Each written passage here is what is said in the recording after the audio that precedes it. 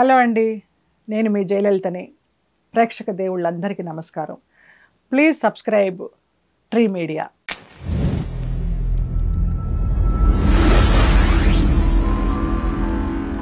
నమస్కారం జయలలిత గారు. నమస్కారం అంజి గారు. ఎలా ఉన్నారు? బాగున్నాను. మీ జర్నీ ఆల్రెడీ కొన్ని వచ్చినాయి. చాలా. వచ్చాయి కాబట్టి ఈ సినిమా తోటి ఇంకా మొత్తం బయట పెట్టేశారు నన్ను. మొత్తం ఎవ్వరికి అందకుండా కొన్ని సంవత్సరాలుగా నా పని నేను చేసుకుంటూ ఇంట్లో. ఉన్నదాన్ని టోటల్ మీడియాకి వచ్చేసి. మీడియాకి వచ్చారు ఓకే. అంటే మీరు గుడివాడు కదా? నేను పుట్టింది గుడివాడ అంటే. బేతవోలు. బేతవాళ్ళు పెరిగిందంతా గుంటూరు స్కూల్ డిగ్రీ అంతా గుంటూరే. డిగ్రీ అయిపోయిన తర్వాత ఇక ఈ సినిమాల్లో ఛాన్స్ వచ్చి చెన్నై షిఫ్ట్ అయిపోయాం ఎయిటీ త్రీలో. నాన్నగారు ఏం చేస్తుంటారు? నాన్నగారు జర్నలిస్ట్. నాదేశం పేపర్ అని రన్ చేసేవారు. అది ఫిఫ్టీన్ డేస్కి ఒకసారి వచ్చేది. పొలిటికల్ ప్లస్ మూవీ రెండు ఉండేది. ఆయన ఆయన తత్వమే నాకు వచ్చింది నిజ నిర్భయంగా చెప్పేయడం. అలాంటి ఒక ఫీల్డ్లో ఉన్నప్పుడు కొన్ని దాటేయాలంటారు. ఇలాంటి ఒక ఫీల్డ్లో ఉన్నప్పుడు కొన్ని దాటేయాలంటారు. ఆ దాటేయడం మాకు తెలియలేదు. దానివల్ల ఆయన చాలా నష్టపోయారు. నా నిర్భయత్వం వల్ల నేను చాలా నష్టపోయాను. అయితే ఆ టైటిల్ నా నా- మన ఎన్టీ రామారావు గారు అడిగారు నాన్నని. వాళ్ళందరూ ఫ్రెండ్స్ నాన్నకి. ఎన్టీ రామారావు గారు జగ్గయ్య గారు సావిత్రి గారు రాజబాబు గారు. ఎలాగంటే మేము ప్రతి సమ్మర్ వెకేషన్కి చెన్నై వెళ్ళేవాళ్ళం. వెంపటి చినసత్యం గారి దగ్గర కూచిపూడి నేర్చుకోవడానికి. అప్పుడు ఆ ఫ్రెండ్స్ సర్కిల్ తోటి ఆయనకు బాగా అలవాటైపోయి మ్, నా దేశం పేపరు ఎలాగా ఆగిపోయిందంటే ఎన్టీ రామారావు గారు టైటిల్ అడిగారు. అంత పెద్ద ఆయన అడిగినప్పుడు ఇవ్వకుండా ఉండలేక ఆయన ఆ నా దేశం టైటిల్ని ఆయనకి ఇచ్చేసి ఈయన ఇంకా రిటైర్మెంట్ అయిపోయారు. ఓకే అలాగా జర్నలిజం ఫ్యామిలీ నుంచి వచ్చా. మీరు ఇద్దరు అన్నలు నాకు ఇద్దరు అన్నయ్యలు ఇద్దరు అక్కయ్యలు. నేను లాస్ట్. మొత్తం ఐదు మంది. ఐదుగురు సద్బ్రాహ్మణ కుటుంబం. కానీ మీ కుటుంబ ఆచార వ్యవహారాలకి అటు అసలు దీన్ని ఎంచుకున్న దానికి పొంతం లేదు కదా? పొంతం లేదు?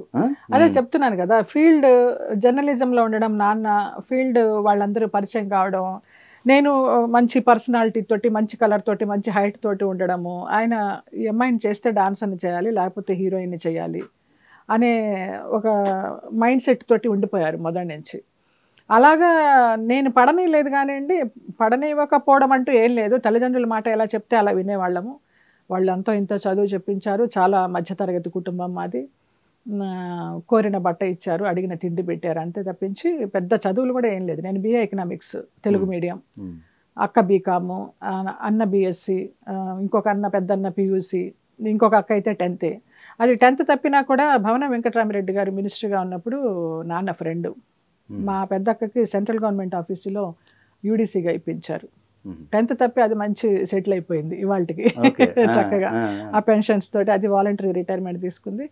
బాగానే ఉన్నాం అందరం. అలా సరాసరి చదువులతోటి సరాసరిగా పెంచారే తప్పించి ఓహో అనే లావిష్నెస్ మాకు తెలీదు. నేను చెన్నై వచ్చి సంపాదించేదాకా. ఆ సందర్భంలో నేను డిగ్రీ ఫినిష్ చేసి ఆంధ్ర నాట్యం నేర్చుకోవాలని హైదరాబాద్ వచ్చా. నటరాజ రామకృష్ణ గారి దగ్గర. అక్కడ నేర్చుకుంటూ ఉండగా ఒక సడన్గా నాన్న వచ్చి మా ఫ్రెండ్స్ మూవీ తీస్తున్నారు. అందులో అమ్మాయి క్లాసికల్ డాన్సర్ కావాలంటే హీరోయిన్ పద పద అనేసి అన్నారు. అదేంటి అసలు నేను డాన్సర్గా ఉందామనుకున్నాను మీరు ఇప్పుడు ఏంటి మూవీ అంటారు? నాకు అసలు ఇష్టం లేదు. నేను రానని ఏడుస్తూ కూర్చుంటే నటరాజ రామకృష్ణ గారు కళాకృష్ణ గారు సర్ది చెప్పారు. అమ్మ నాన్న ఫ్రెండ్సే కదా తీస్తున్నారు. నువ్వు వెళ్ళి చూడు ఒక మూవీ యాక్ట్ చేయి. నీకు నచ్చకపోతే మళ్ళీ బ్యాక్ వచ్చే డాన్సర్గానే ఉండు. ఇక ఈ వలయంలోకి వచ్చాక ఇంకా బ్యాక్ రావడం అంటూ అది క్వశ్చనే లేదు ఇంకా. అప్పుడు అది టాకీ పార్ట్ రేపల్లలో జరిగింది. ఫస్ట్ మూవీ ఈ పోరాటం మార్పు కోసం. మన బాలాజీ హీరో రోహిణి వాళ్ళ బ్రదర్ మ్మ్. దాని టాకీ పార్ట్ రేపల్లలో చేసి సాంగ్స్ కోసమని విజయ్ గార్డెన్స్ కోసం వచ్చాం చెన్నై.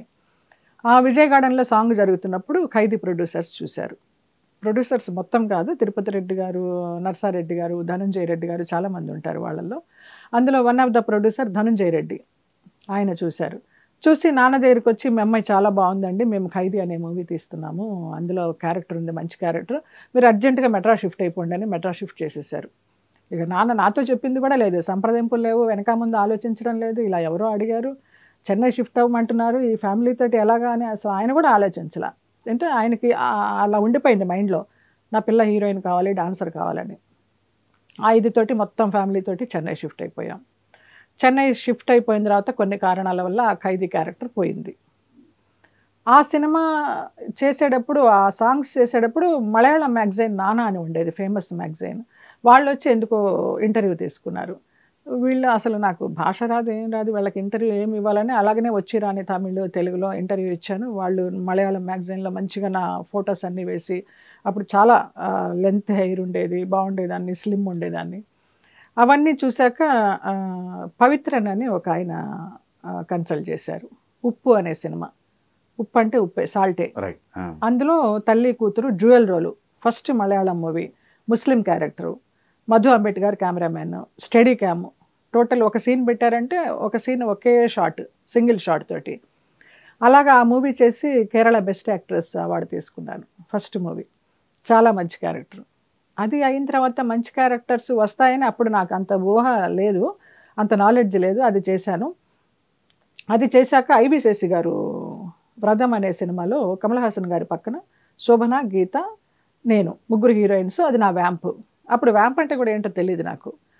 సో అలా అది చేసిన తర్వాత ఇంద్రుడు చంద్రుడికి వచ్చేసరికి రామానాయుడు గారు కమల్ హాసన్ గారి పిఏగా ఎవరు కావాలి ఎవరు కావాలి ఎవరు బాగుంటారు అంటున్నప్పుడు కమల్ హాసన్ గారు నన్ను సజెస్ట్ చేశారు. రీసెంట్గా అమ్మాయి నాతోటి మలయాళంలో చేసింది బాగుంది ఆ అమ్మాయి సూట్ అవుతుందని. అలా కమల్ హాసన్ ద్వారా నాకు ఇంద్రుడు చంద్రుడు వచ్చింది. ఇంకా అలా అలా అలా స్టార్ట్ అయింది స్టార్ట్ అయింది. నేను ఇంకా వెనక్కి తిరిగి చూసుకోలేదు. ఇది మంచి క్యారెక్టరా ఇది కాదా ఇది చేయొచ్చా చేయకూడదా? ఈ కాస్ట్యూమ్ వేయచ్చా వేయకూడదా ఏమీ ఆలోచన లేదు. వచ్చింది వచ్చినట్టు చేసుకుని వెళ్ళిపోయాను. నా ఫ్యామిలీ నన్ను నమ్ముకొని చెన్నై వచ్చింది. వాళ్ళని నేను బతికించాలి. మళ్ళీ తిరిగి వెళ్ళలేము. బంధువుల్లో చులకన అయిపోతాము అనేసి అలాగా ఈ ఫిలిం ఇండస్ట్రీని కంటిన్యూ చేస్తూ వచ్చా. మీరు మలయాళం ఎక్కువ చేశారు. మలయాళం ట్వంటీ ఫైవ్ మూవీస్ చేశాను. కొంచెం బి గ్రేడ్ మూవీస్. కొంచెం మంచి మూవీస్ మోహన్ లాల్ మ్మ్, మ్మ్, మమ్ముటి మ్మ్. అందరితో చేశాను నేను. మంచి మంచి డైరెక్టర్స్తో చేశాను. భరతన్ గారితోటి పద్మరాజన్ గారితోటి ఆ, విశ్వంబరన్. అందరు పెద్ద డైరెక్టర్స్. చేశాను. అంటే బి గ్రేడ్ మూవీస్ చేయటం అంటే అవసరం అప్- అప్పుడు నాకు తెలియదు నాకు. డబ్బులు కావాలి నా ఫ్యామిలీ గెట్ ఆన్ అవ్వాలి అంతే. బి గ్రేడా సి గ్రేడా ఏం. తెలియదు ఎంటర్ అయినాము వెనక్కి తిరిగి చూడకూడదు. ఓకే. వచ్చిన వచ్చినట్టు చేసుకుంటూ వెళ్ళాలి. నాకు చెప్పడానికి ఎవరు గాడ్ ఫాదర్ లేదు ఎవరు అడ్వైజర్ లేరు. నాన్నగారు ఉన్నారుగా? నాన్నగారు ఉన్నారు నాన్నగారు ఏం చెప్పరు. వాళ్ళకి సెటిల్మెంట్ కావాలి అంతే.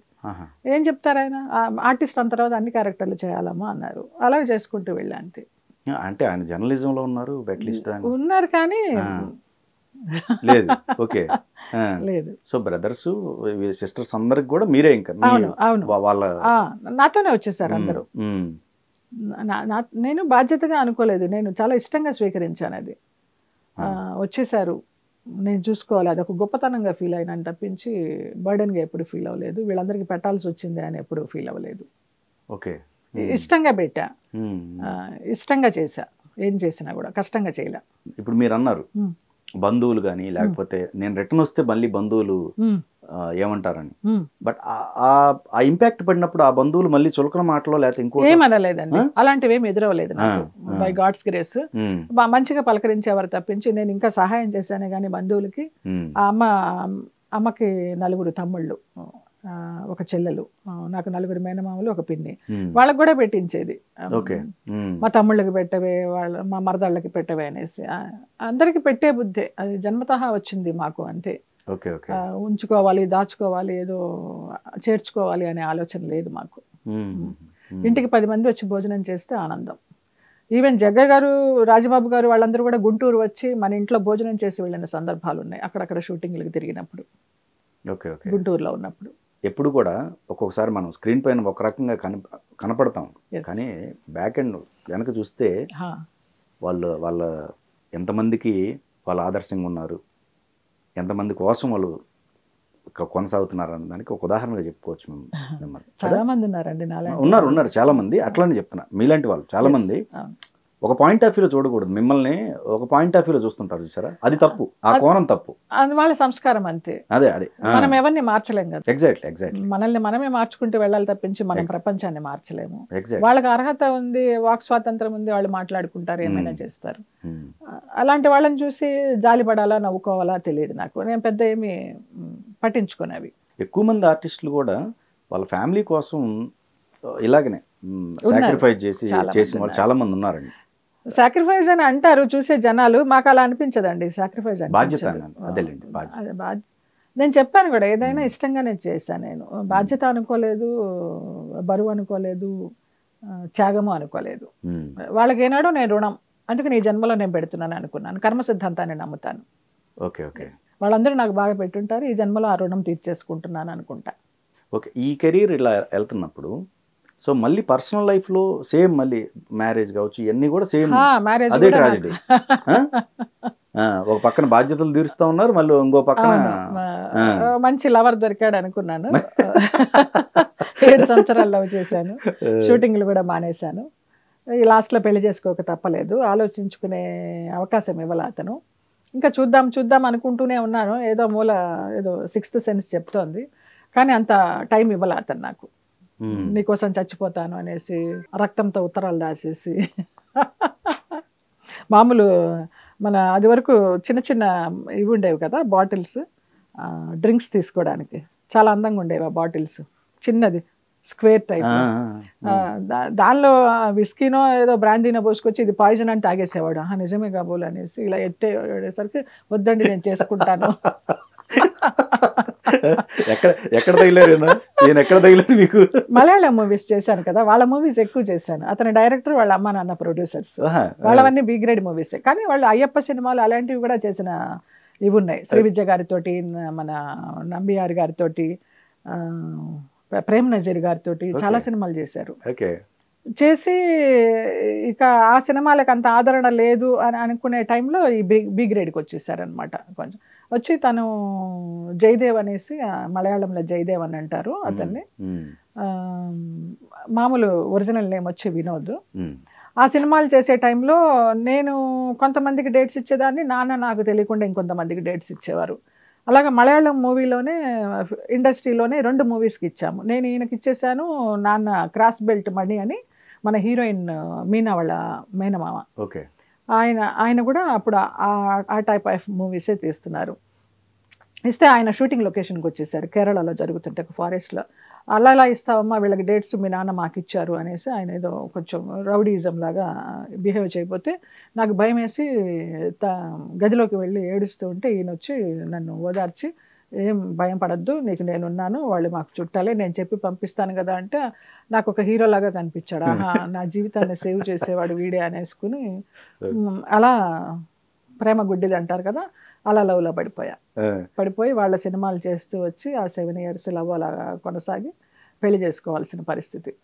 నైంటీ టూ సెప్టెంబర్ థర్డ్ అయింది నా మ్యారేజ్ చోటానికరమ్మ ఆలయంలో ఓకే ఓకే. కొచ్చిన్లో. అమ్మ నాన్న ఎవరు రాలా. వాళ్ళకి ఇష్టం లేదు. వీడు దొంగ కోళ్ళు పట్టే మొహంలాగా ఉన్నాడు. నీ ఆస్తి కోసమే నిజమైన ప్రేమ కాదు చూసుకో.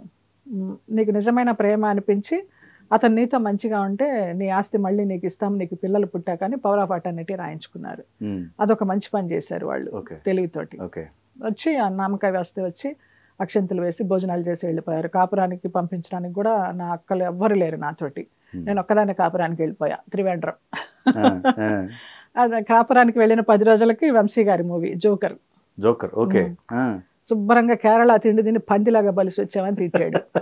సాంగ్ రాజేంద్ర ప్రసాద్ తోటి. మంచి సాలిడ్గా అయినా.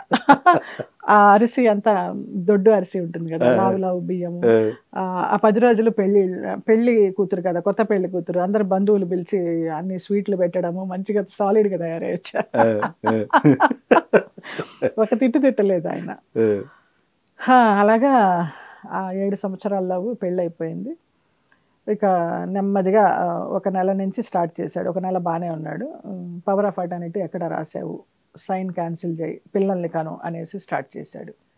ఇంకా అలాగలాగా నెమ్మదిగా అర్థమవుతూ వచ్చింది. అప్పులు వాళ్ళు రావడం అప్పులు ఉన్నాయి అనేసి వీళ్ళు తీర్చలేకపోవడం ఈయన గదిలోకి వెళ్ళి ఊరేసుకోపోయేలాగా చేయడము నా దగ్గర ఉన్నది ఎంత ఉంటే అంత క్యాష్ ఉంటే క్యాష్ బంగారం ఉంటే బంగారం ఇచ్చేయడము. అలాగే నా దగ్గర ఉన్నదంతా పోయాక మూడు నెలల్లో నాలుగో నెలల నుంచి తిట్లు దెబ్బలు ఇవన్నీ స్టార్ట్ అయినాయి. ఇంకా చిత్రహింసలు. ఓకే.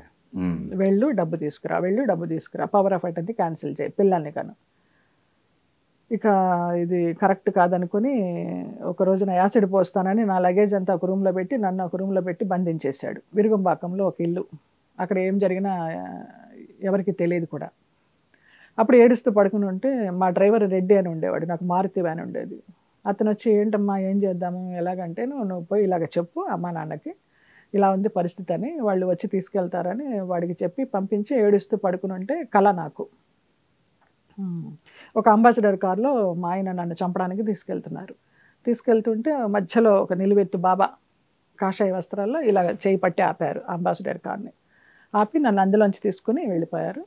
ఆ మన్నాడు పరచూరి గోపాలకృష్ణ గారు మేకప్ జయకృష్ణ గారు మన చలపతిరావు గారు వీళ్ళంతా విరుగంబాకం పోలీసులకి చెప్పి నన్ను బయటికి తీసుకొచ్చారు. అలా పుట్టింటికి వచ్చేసాను. ఓకే. అలా జరిగింది పెళ్ళి. ఆ- పెళ్ళి ముందర అసలు చాలా స్టేట్మెంట్స్ ఇచ్చాను. కళ్యాణం వచ్చిన కక్కు వచ్చిన ఆగదని స్వాతిలో వాటిల్లో అన్నిట్లో కూడా. పిల్లలకి అగెనిస్ట్ అవ్వటానికి అదొక్క రీజనేనా? అది మెయిన్ రీజన్ అయిపోయిందా? పిల్లలు అది మెయిన్ రీజన్ అయిపోయిందా? నాకు విరక్తి వచ్చేసింది. ఆస్తి కోసమా? అసలు అసలు ఆ పిల్లలు ఎందుకు నాకు. నా ఆస్తి కావాలని పిల్లల్ని కనమన్నప్పుడు ఆ పిల్లల్ని కూడా చూస్తాడో చూడడు సరైన తల్లిదండ్రి లేకపోతే ఆ పిల్లల ఫ్యూచర్ ఎలా ఉంటుందో అని టెన్షన్ వచ్చేసి అక్కడ ఒక లేడీ డాక్టర్ ఉంటే ఆవిడ దగ్గరికి వెళ్ళి అమ్మ నాకు పిల్లలు పుట్టకుండా ఏమైనా కొంతకాలానికి టాబ్లెట్స్ ఇవ్వరా? అంటే ఆమె టాబ్లెట్స్ ఇచ్చింది. అతనికి తెలియకుండా ఆ టాబ్లెట్స్ వేసుకుని ఆరు నెలలు మేనేజ్ చేశాను ఏడో నెలకు బయటకు వచ్చేసాను ఏడు సంవత్సరాల్లో ఏడు నెలల్లో ఏడు నెలల్లో అయిపోయింది. మళ్ళీ ఫస్ట్ ఇయర్ పెళ్ళి రోజు రాకుండానే వచ్చేసాను కానీ ఏడు సంవత్సరాలు టైం తీసుకోవడానికి రీజన్ ఏమైనా ఉందా? సెవెన్ ఇయర్స్ లేదు మంచి పీక్లో ఉన్నాను నేను. మూడు షిఫ్ట్లు చేస్తున్నాను. ఇతని గురించి ఒక వంద సినిమాలన్నీ వదిలేసి ఉంటాను నేను. ఆ టైంలోనే? ఆ టైంలోనే. ల్యాండ్ లైన్కి ఫోన్లు వచ్చేవి. అమ్మ డేట్లు జయలలిత గారని. నేనే ఫోన్ తీసి జయలలిత లాగా కాకుండా దాని మీద ఒక కర్చీఫ్ వేసి సినిమాల్లో చూపించినట్టు ఫాల్స్ వాయిస్ తోటి మాట్లాడేదాన్ని జయలలిత లేదు చాలా బిజీగా ఉంది వేరే షూటింగ్లో ఉంది కేరళలో ఉంది అక్కడ ఉంది ఇక్కడ ఉంది అనేసి. అలా చాలా సినిమాలు పోగొట్టుకున్నా. ఇంత స్పెండ్ చేయడానికి టైము. ఓకే. ఈయన లవ్ రియల్ అని. అది. ఆ- సెవెన్ ఇయర్స్ పీరియడ్లోనే చూసా అతను లవ్. పెళ్ళయ్యాక చూడాల. బయటకు వచ్చారు సెవెన్ మంత్సే కదా. మళ్ళీ మీకు మ్యారేజ్ చేసుకోవాలని ఈ రోజు వరకు అనిపించాల టచ్ వుడ్. ఆ, నాకెందుకు భగవంతుడు నా ఎందున్నాడు అనిపిస్తుంది. ఒకే ప్రేమ ఒకే పెళ్ళి. దాని తర్వాత ఎన్ని జరిగినా అవి పెళ్ళిళ్ళు కాదు అవి ప్రేమ కాదని నాకు అనిపిస్తుంది. ఏదో ఒక ఫ్లాష్ బ్యాక్లో వస్తుంది ఇద్దరికి తగదా అతనితో అలాగ ఉండేదానివి. నువ్వు ఇతనితో ఇలాగ ఉండేదానివి. ఏదో ఏదో ఒక మాటలు వస్తాయి. ఆ మాటలు పడాలా? ఆ, పిల్లల్ని కానీ వాళ్ళు ఏదైనా ప్రశ్నిస్తే వాళ్ళకి సమాధానం చెప్పే స్థితిలో ఉంటానా లేనా? చాలా భయస్తురాలి నేను. చాలా భయస్తురాలని చాలా సెన్సిటివ్ నేను. అన్నీ కొంచెం ధైర్యంగా తీసుకుని చేయలేను. అనుమానాలు ఎక్కువ నాకు. సో అందుకని వద్దు బాగానే ఉన్నాను. చాలామంది అనేవారు వయస్సు అవంగా వంగా తెలుస్తుంది ఒక తోడు కావాలని ఒక బిడ్డ కావాలని అని. తెలియలా ఏదన్నా ఒక జంటను చూస్తే అబ్బా బాగుంది మనం కూడా ఇలా ఉంటే బాగుండేదని క్షణికమే అది. ఏదో క్షణిక ఆవేశంలాగా అనిపిస్తుంది ఆ తర్వాత వద్దు. పిల్లలు అంటారా ఇంకా అన్న పిల్లలు అక్క పిల్లలు అందరూ నా పిల్లలే. సో ఆ లోటు కూడా నాకు తెలియలా అందుకని నాకు అటు పోలే ఇంకా మనసు. అయిపోయింది. ఒక ఎక్స్పీరియన్స్ చూసాము. మనకి తగదు మనకి రాసి లేదు. ఇల్లు పెళ్ళి పిల్లలు అనేవి ప్రాప్తంలో ఉండాలి. అవి మనకి లేవేమో అనుకుని వదిలేసాను అంతే. లైట్ తీసుకున్నా. పరిగెడుతూ ఉన్నారు ఒక పక్కన డబ్బు కోసం అని చెప్పి. దాని తర్వాత మనకి ఆ డబ్బు ఎందుకు? ఒక మంచి లైఫ్ కోసం. అవును. పర్సనల్ లైఫ్ కూడా బాగుండాలనే కదా. దానికి మాత్రం మీరు మీ ఆలోచనలు ఎలా ఉన్నాయి? ఆ విషయంలో అయితే. నా పర్సనల్ అంతే ఇంకా. నేను ఎప్పుడు ఇంపార్టెన్స్ ఇవ్వాల. రైట్ రైట్ రైట్ నా చుట్టూ ఉన్న వాళ్ళు బాగున్నారా? కోరుకున్నారు. నన్ను నమ్ముకుని వచ్చిన వాళ్ళు సెటిల్ అయినారా లేదా? మ్మ్. ఇంతవరకు చూశాను కానీ నా పర్సనల్ లైఫ్ ఏంటి నా ఆనందం ఏంటి నా సెటిల్మెంట్ ఏంటి అనేది నాకు ఎప్పుడు రాలేదు. ఇంకా ఆ తర్వాత నుంచి నాన్ స్టాప్ కదా? మీరు మూవీస్ తెలుగులో అప్పుడే నేను నాకు నేనే ఇది స్టాప్ చేసుకున్నాను. అంటే ఇంక పెళ్ళి అయిపోయింది వెళ్ళిపోయింది ఇంకా చేయదేమో అనేసి ఒక గ్యాప్ వచ్చేసింది. కొన్ని రోజులు నేనే బిజీ బిజీ అనుకుని చెప్పుకొని అది ఆ గ్యాప్ చేసుకున్నాను. మ్మ్. మొత్తానికి తర్వాత నైంటీ త్రీ నుంచి ఇంకా వచ్చేసాక ఏవో అడపా దడపా చేస్తూ ఉన్నాను కానివ్వండి ఇంకా టూ థౌజండ్ త్రీలో ఓరిని ప్రేమ బంగారంగాను ఏవిఎస్ గారి మూవీకి వచ్చినప్పుడు చలపతిరావు గారు వాళ్ళందరూ తిట్టారు. "ఎ- ఎవరున్నారే? చెన్నైలో ఎవరు లేరు? అందరూ ఇక్కడికి వచ్చేసారు నీకు సినిమాలు వస్తాయి నువ్వు బిజీ అవుతావని మేము హామీ ఇవ్వంగానే ఆత్మీయులు చుట్టూ ఉంటావు కదా ఏదన్నా కష్టం వచ్చినా మంచాయో చెడాయో అనేసి పాపం వాళ్ళు బలవంతం చేసి నన్ను హైదరాబాద్కి షిఫ్ట్ చేశారు. ఓకే. ఎయిటీ ఫోర్ నుంచి టూ థౌజండ్ త్రీ మే దాకా చెన్నైలో ఉన్నాను. టూ థౌజండ్ త్రీ నుంచి ఇంకా ఇప్పటిదాకా హైదరాబాద్. ఎప్పుడైతే ఫ్యామిలీకి సంబంధించిన డిస్టర్బెన్స్ వచ్చిన తర్వాత ఎక్కడున్నారు మీరు? నేను చెన్నైలోనే ఉన్నాను. చెన్నైలో ఉన్నారా? చెన్నైలోనే ఉన్నాను. గుళ్ళు గోపురాలు తిరుగుతూ ఉన్నాను. కొంచెం ఆ ఫ్రస్ట్రేషన్ తగ్గడానికి. తర్వాత నాకు మంచి ఫ్రెండ్స్ ఉన్నారు. మార్వాడి ఫ్రెండ్స్. వాళ్ళు మాంచెస్టర్లో అప్పుడే ఏదో ఇల్లు కొనుక్కున్నారు. చక్కగా ఇక్కడ బాగుంటుంది వాతావరణం. కొన్ని రోజులు ఇక్కడ వచ్చి ఉండు. కొంచెం రిలాక్స్ అయ్యి నువ్వు కూల్ అయిన తర్వాత మళ్ళీ ఫ్రెష్గా వెళ్ళొచ్చు. అప్పుడు నీ వర్క్ చేసుకోవచ్చు అని పాపం వాళ్ళే నాకు సపోర్ట్గా ఉండి అక్కడికి తీసుకెళ్ళి ఒక నాకు తెలిసి ఫైవ్ టు సిక్స్ మంత్స్ ఉన్నాను అక్కడ. ఉండి ఫ్రెష్ అయిపోయి వచ్చా. మొత్తం స్విట్జర్లాండ్ అంతా చూసి. వచ్చాక మళ్ళీ బ్యాక్ టు వర్క్ వస్తూ ఉన్నాయి. అంతకు ముందరంత పీక్ లేదు కానివ్వండి అలా వస్తూ ఉన్నాయి చేసుకుంటూ వచ్చా. అలా అలా వస్తూ టూ థౌజండ్ త్రీలో మన ఊరిని ప్రేమ బంగారం కాని టైంలో చలపతిరావు గారు వాళ్ళందరూ చెప్పి సినిమాలు ఉన్నా లేకపోయినా వర్క్ ఉన్నా లేకపోయినా మీకు నీకు మేమంతా ఉన్నామని చెప్పేసి షిఫ్ట్ అవ్వని షిఫ్ట్ చేశారు. వాళ్ళ బలవంతం మీద షిఫ్ట్ అయినాను. షిఫ్ట్ అయినందుకు బాగానే ఉన్నాను. ఒక ఇన్సిడెంట్ చెప్పినప్పుడు నాకు చాలా ఇది అనిపించింది. అంటే అసిస్టెంట్ డైరెక్టర్ అలా బిహేవ్ చేశాడా? అంత దారుణంగా అనిపించింది. ఆ టైంలో వాడి టైం బాగుంది చేశాడు అంతే. అయినా అసిస్టెంట్ డైరెక్టర్ కథ చెప్పటం ఏంటి? అసిస్టెంట్ డైరెక్టర్ కథ చెప్పడం ఏంటి? కో డైరెక్టర్ సీన్స్ చెప్తారు. నేను నాన్ మలయాళి తెలుగు. నేను అన్ని క- కనుక్కుంటాను రాసుకుంటాను తెలుగులో రాసుకుంటాను ప్రాంప్టింగ్ తీసుకోను. బట్టి బట్టి నేనే చెప్పుకుంటాను. ప్రాంప్టింగ్ తీసుకుంటే యాక్షన్కి ఇది ఉండదు. ప్రాంప్టింగ్ మీదే కాన్సన్ట్రేట్ ఉంటుంది. అలాగే రేపు పొద్దున అన్ని నీవే సీన్స్ చాలా మోహన్ లాల్ గారితో కాంబినేషను. నీవే సీన్స్ నువ్వు రాసుకుంటావా మరి? నేను చెప్తాను అనేసి అంటే ఆ రాసుకుంటానని వెళ్ళాను. అలా జరిగిపోయింది అంతే అది. మీరు తర్వాత కేసు పెట్టడం కానీ ఏం చేయలేదు? ఎందుకు? ఎందుకు కేసు పెట్టడం? అయిపోయిన తర్వాత కేసు పెట్టి లాభం? మరి కేసు కోర్టులు చుట్టూ తిరిగినా లేకపోతే నా షూటింగ్లు చేసుకున్నా నేను. అతను ఎవరికి తెలియదు అసలు అది. మొన్న అదేదో అలా వచ్చింది. ఆ శ్మశానంలో ఆ శివుడు చెప్పించాడేమో తెలియదు నా ఫ్యామిలీ మెంబర్స్ కూడా తెలియదు. అయిపోయింది. దాన్ని ఎప్పుడో మర్చిపోయినాను అతను చనిపోయాడు కూడా ఇంకా. అది గతం గత సో ఇలాంటివి చాలా ఎదుర్కొన్నారు అయితే మీరు. తమిళనాడు ఇన్సిడెంట్ నాకు పేరు నాకు జయలలిత అని పేరు ఉంది కదా. జయలలిత పార్టీ వాళ్ళు అమ్మ పేరు పెట్టుకుని వ్యాంపు వేషాలు వేస్తున్నావు కమెడియన్లుగా వేస్తున్నావు. పేరు మార్చేసుకుని నువ్వు ఏ వేషాలన్నా వేసుకో మాకు అభ్యంతరం లేదన్నారు. అసలు ఆవిడకి అభ్యంతరం లేదు పార్టీ వాళ్ళు అభ్యంతరం చెప్పారు. అప్పుడు నేను చెప్పాను నాకు ఆరో సంవత్సరంలో ఊహ వచ్చిన తర్వాత నేను చూసిన ఫస్ట్ సినిమా కథానాయకుడు జయలలిత గారు ఎన్టీ రామారావు గారు. మన్నాడు బళ్ళో నన్ను జాయిన్ చేస్తున్నప్పుడు నాన్న వాళ్ళు నాకు పెట్టిన పేరు లలిత. నాన్న మొదటి భార్య పేరు లలిత ఆవిడ పోయారు. ఆవిడ పేరు నాకు పెట్టుకున్నారు. లలిత అని చెప్పబోతుంటే కాదు జయలలిత అని చెప్పాను నేను ఆరో సంవత్సరంలో. ఆవిడ అంటే ఏంటో తెలీదు. ఆవిడని చూశాను ఫస్ట్ టైము ఇష్టం అయిపోయింది. అలా జయలలిత అయిపోయాను. చాలా ఇష్టము. నేను మార్చుకోను నాకు సినిమాలు లేకపోయినా పర్వాలేదు అని చెప్పాను. అలాగా తమిళనాడులో ఆ ఇన్సిడెంట్ జరిగి వాళ్ళు రాళ్ళు వేసి ఇంటి మీద మార్చుకుంటావా మార్చుకోవా అని అద్దాలు పగలగొట్టి రామానాయుడు గారు అక్కడ పోలీస్ డిపార్ట్మెంట్తో చెప్పించి ఆ- ప్రాబ్లం అలాగే సాల్వ్ అయింది. నేను పేరు మార్చుకోలేదు. తర్వాత నాకు తమిళ్ళో సినిమాలు రాలేదు. అప్పటికి జయలలిత గారు సీఎం గా ఉన్నారు కదా. మీ ఇన్సిడెంట్ మంచి హవాలో ఉన్నారు. మీరు వెళ్ళి కలిసారా? ఇట్లా జరుగుతుందని? సందర్భం రాలేదు. సందర్భం రాలే. ఆహా. ఆ. Okay okay. నేను ఇది చెప్పడానికి వెళ్ళలేదు. ఆమెని ఎదురు నేను నేరుగా ఎప్పుడు చూడలేదు. మలయాళం ఏందండి? అవక- అవమానకరంగా ఫీల్ మలయాళంలో ఇదే.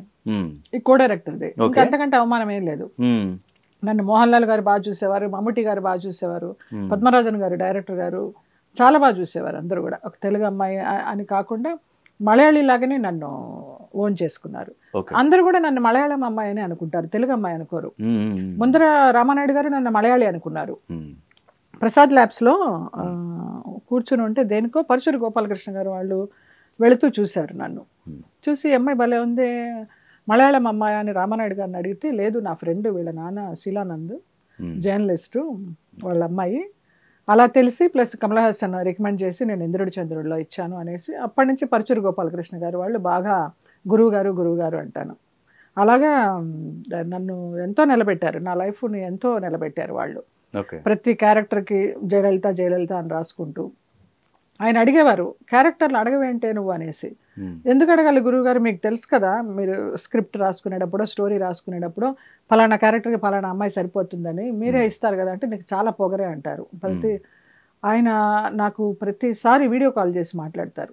మామూలుగా కాల్ చేస్తారు ఎలా ఉన్నావు అనేసి. బాగున్నానంటే నా గొంతులో ఏదన్నా ఎక్స్ప్రెషన్ ఏదైనా తేడాగా కనిపిస్తే వెంటనే వీడియో కాల్ చేస్తారు. ఏదో తేడా కనిపిస్తుంది బాగున్నావా లేదా? ఏంటి చెప్పు అనేసి. అంతటి ఆత్మీయులు ఆయన కానీ బుజ్జమ్మ. వాళ్ళ ఆవిడ. కానీ.